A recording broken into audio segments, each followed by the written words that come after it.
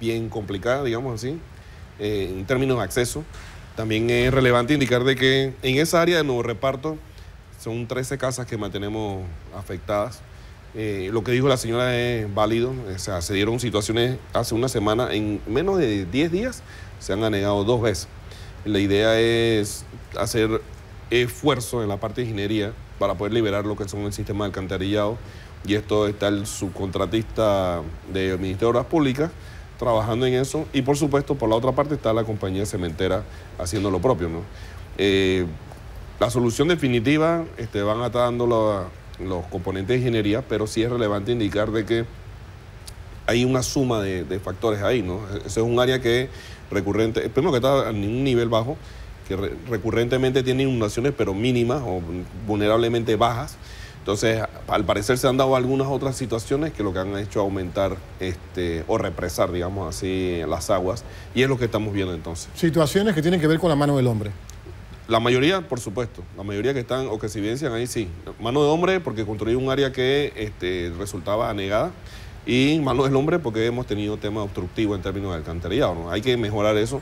Hay un trabajo de remediación que ya tenía eh, obras públicas en sitio Así que va, va hoy a ver cómo, este, digamos así, continúa el trabajo.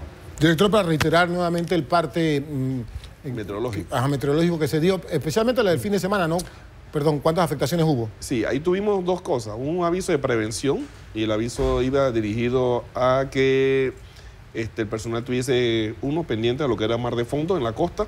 Y después tuvimos activación de zona de convergencia, eh, una onda tropical, y esas dos cosas lo que generaron fue lluvias. Ojo, ese en el caso de Nuevo Reparto. Tuvo afectación básicamente por el componente de lluvias. Si nos vamos a Nuevo México, que es un área que está colindante con calzada larga, estarían dentro del mismo distrito o el mismo área, digamos, circunvecina, pero son diferentes este, motivaciones. Entonces, en el área de Nuevo México es un muro que este, no soportó la carga de agua que estaba, estoy seguro que no estaba diseñado para eso, así que vamos a estar verificando juntamente con el personal de ingeniería y de aeronáutica para ver entonces cuáles serían las medidas de remediación en esa área también. Director, a nivel nacional, entonces estamos hablando de cuántas casas afectadas y cuántas personas. Estamos hablando de un aproximado de 36 casas, eh, un aproximado de, digamos que 200 o menos personas al momento. Tuvimos un sistema climatológico importante, todavía se sienten los remanentes el día de hoy.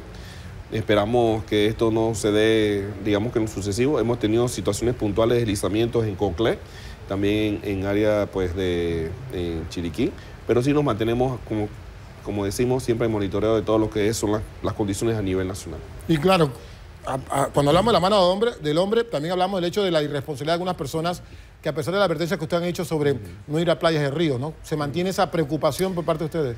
Sí, claro, o sea, se emitió un aviso de mar de fondo eh, y eso era una advertencia clara para las personas en cuanto a su asistencia a lo, que era la costa, costa del Pacífico.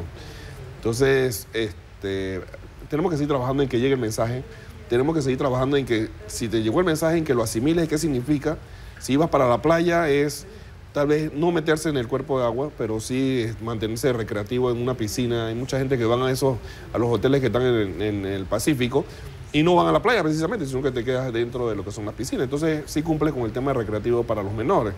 Y, si, digamos así, que lo hace, que no se recomienda bajo las condiciones que estaban, hágalo con mucho cuidado. O sea, tienes que tener cualquier cantidad de medidas, que al final decimos no se recomienda, pero sí este, que puedas utilizar medidas de, remediación, que no tienen que ver con estar metido en la playa, pero sí que tengan que ver con otro tipo de cosas que tú puedas mejor controlar, para evitar situaciones irreversibles, como la pérdida de vida. Director, una de las fiestas más concurridas por los panameños, que es religiosa, folclórica y cultural. Santa Libra, que por cierto va a estar TV dándole cobertura a esto. Eh, ¿Cómo está el planeamiento para efectos de seguridad? Bien, eh, todo lo que es la cobertura para concentración masiva ya está activado. Lo que estamos agregándole es un dispositivo de carreteras. Eh, que empezaría desde el día viernes o tal vez el, mismo jueves, porque la misa es hecho de las 8 de la noche del día viernes y el, este, la concentración masiva, que es entonces para los efectos del día 20 eh, al día, a las 10 de la mañana. Entonces van a hacer esas dos operaciones. La intención es poder asegurar lo que son los flujos de, personas, que no se registren novedades y bueno, tener un dispositivo de respaldo a, a lo que son las entidades de salud y demás en la parte prehospitalaria y por supuesto mantener un centro de coordinación. Usted tiene el apoyo de la policía porque también hay gente, para decir un buen panameño, que rofea a las autoridades como SINAPROC, ¿no? Claro que sí. esta es una operación conjunta, no es una operación y es un trabajo en equipo.